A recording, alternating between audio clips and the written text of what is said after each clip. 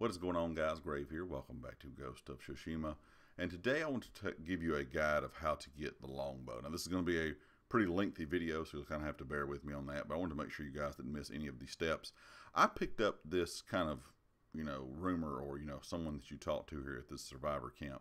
But as long as you have completed uh, the Warrior's Code, the tale of the lady and the blood on the grass, you can return to the springs, and of course, the musician, the storyteller, will be there waiting for you.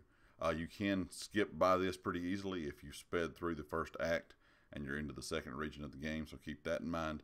But as long as you're still in the first act, you can find uh, this very easily, like I said, here in the Springs. Once you're at the Springs, of course, you will see the musician, the storyteller. He'll be sitting here. You'll go into a cutscene. He'll start to tell you the story about the longbow. I'm not going to play the entire cutscene through a lot of these, you know, these different cutscenes that are in kind of this quest. But I wanted you guys to see exactly what you're going to see on screen. As long as you're seeing what you're seeing right now, you know you have the right mission and you're starting off the, the first part of the longbow.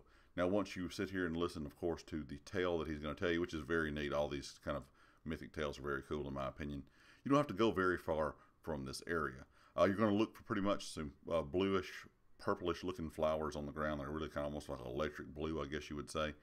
But uh, you're going to find these flowers in this little cave uh, or by a cave not far from the area you're in right now. So if you can see what I did, I just kind of hopped off right there behind where the storyteller was, went up this little small uh, wooden bridge that's on the side of this cliff, kind of go over this next bridge and through some bamboo, and you'll be almost there already. This is a very close uh, kind of start to the longbow quest. Now once you're in the Hidden Springs Forest, you're going to continue to ride, just continue to follow the wind, and you're going to see the area that you need to go to uh, right up here in front of you. It's like I said, it's going to be a kind of large rock face, not massive, but a fair sized uh, rock face. And as you can see, those flowers are kind of just all over the ground right around this area. Now, once you get up to this rock face, there will be a small crack in the rocks uh, right in front of you pretty much. And that's where you have to go kind of slide through that crack. But you can kind of see the area that I'm in right now. You can kind of see exactly where that is. As long as you can see that tree right here, uh, kind of straight up above me, you're going to be in the right place for this um, entrance. Now, if you come in kind of a bit on the other side of the rock, just make sure you follow uh, the rock around until you find this rock face. But you can kind of see the way I'm facing here on the map. Once you enter this, you'll have to kind of go in uh, through this little small room and you will come down to the bottom and you will find some uh, items that you need to uh, kind of, you know, look over. Some things you need to look at. And one of them is going to be a painting. This painting is going to give you the location or the next location that you need to go search. So like once I said, once you hop down in here, you will see two things that you have to look at, two things that you need to examine. Uh, of course, the first thing is this painting, and this painting will always be available down in the right hand corner. All you have to do is uh, swipe left on your touchpad on your PS4 controller to kind of get that image to blow up just a little bit bigger. And I'll show you that here in just a second. So once you kind of can see this image here now on the screen, of course you can swipe right to make it small again. You'll just go out of this cave that you have entered and kind of go back outside the way you came in.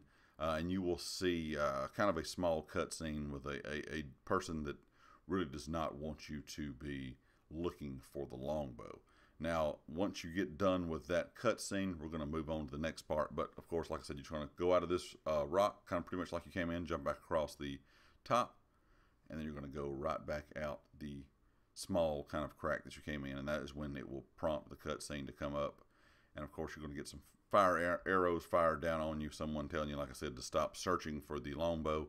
And that is going to be where you're going to go into the next part.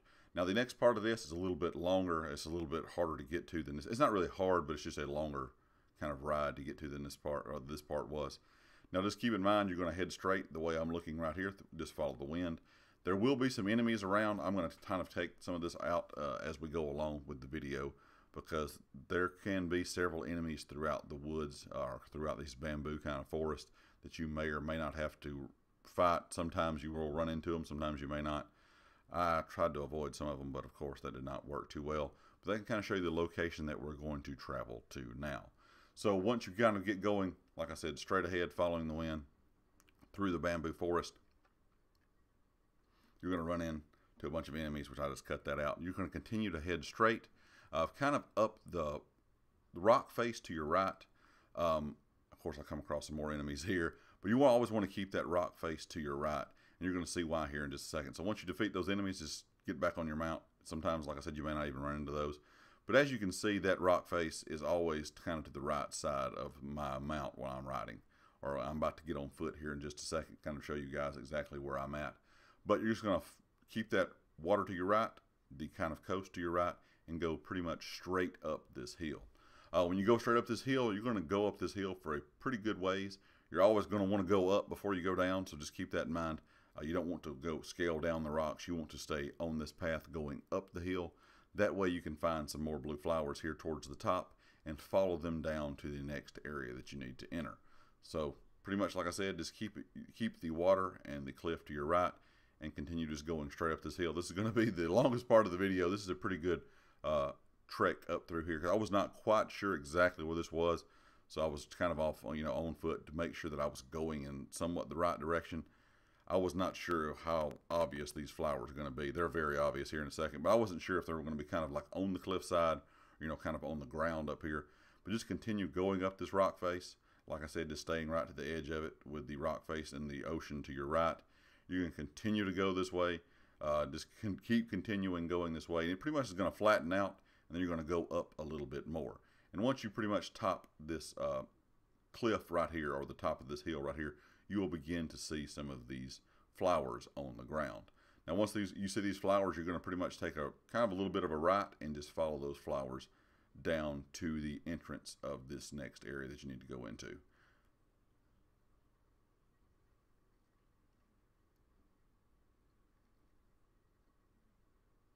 As you can see, I finally have gotten to where the flowers are.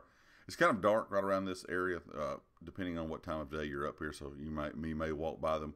But as you can see, as soon as you kind of top that hill, the flowers uh, are kind of going off on a trail to the right. You're just going to continue to follow them down and kind of keep going down uh, until you get to a very nice looking area. You're, you're not going to be able to miss this if you continue to follow these flowers kind of through the woods and kind of just this trail is going to be to your right and of course the rock cliff and the ocean are going to be to your hard right on the screen now.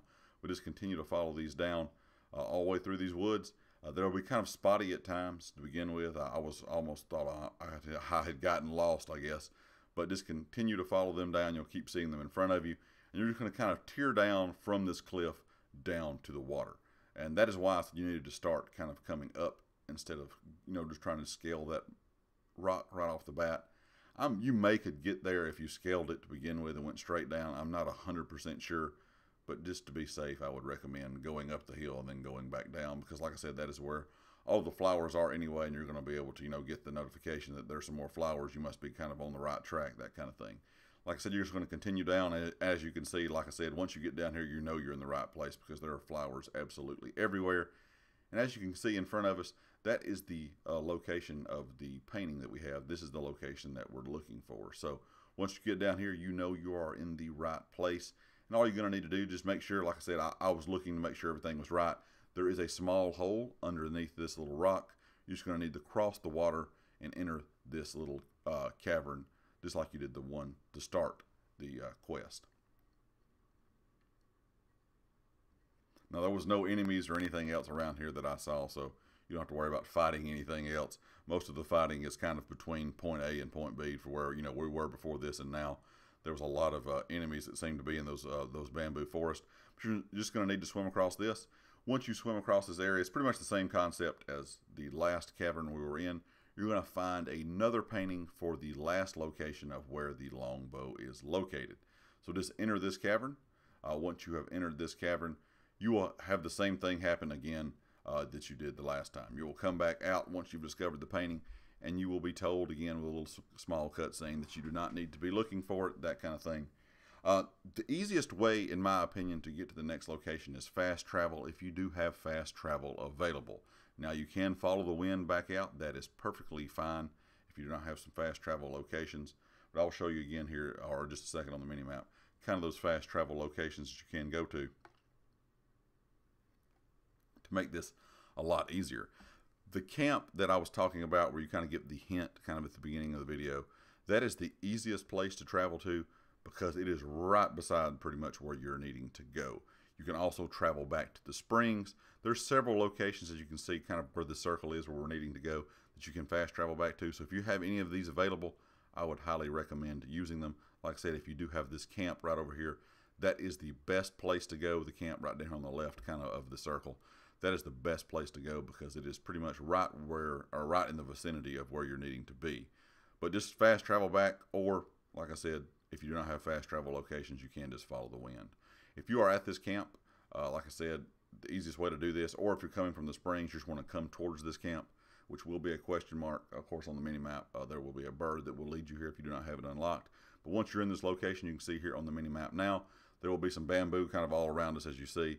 And you're just going to need to pretty much go straight south. So you just turn around and go right out of this bamboo down this hill and the area that we're looking for is going to be right here in your face in just a second. As you can see, those blue flowers kind of going up this rock face uh, a little bit to the left of the screen.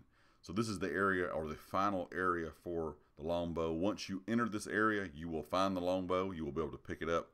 Uh, you will kind of go through a little bit of a cut scene and then you're going to have to fight a boss. I'm going to cut the boss fight out because it is pretty neat. You might want to experience that for yourself for the first time, so I don't want to ruin it by you know spoiling anything for the boss fight. It is a pretty little neat scene. But uh, once that boss fight is complete, you will have that longbow. Now, this longbow is very unique. It does have some very strong damage. It does have a lot deeper zoom than the other, the, the, the smaller half bow that you get. Keep in mind, it does have a longer pull, so it's not as quick of a firing weapon, but it is a very good weapon for long range. But once you're down kind of in this, or you kind of come around this rock and you're down in this little hole, you'll see this shrine here. That is where the bow will be laying. Uh, once you complete, like I said, the cutscene, you fight the boss, the bow will be yours. And like I said, it is a very good bow in my opinion. I, I think it's a very uh, unique kind of weapon in game, and it is very good for long range combat. It may not be a weapon you're wanting to use in short range combat. Just keep that in mind, because like I said, it does have a pretty long pull. Anyway, guys, I hope this helped you find this locate or find this, you know, the longbow kind of this with this guide. And if you like the video, hit the like. If you have not subscribed yet, please do so. If you are a subscriber, make sure you click the bell icon up in the top right corner so you know when all my videos go live. If you have a chance to share the video, please do. It does help out the channel a lot. If you'd like to join the Discord community, all the information is linked down in the description. And also be sure to check out GT Racing. They are the affiliate here on the channel. They sell gaming chairs, uh, desk, mice, keyboards, uh, mouse pads, all kind of stuff to fit your gaming needs. And like I said, all their information is down in the description as well. And I'll catch you all next time. Peace.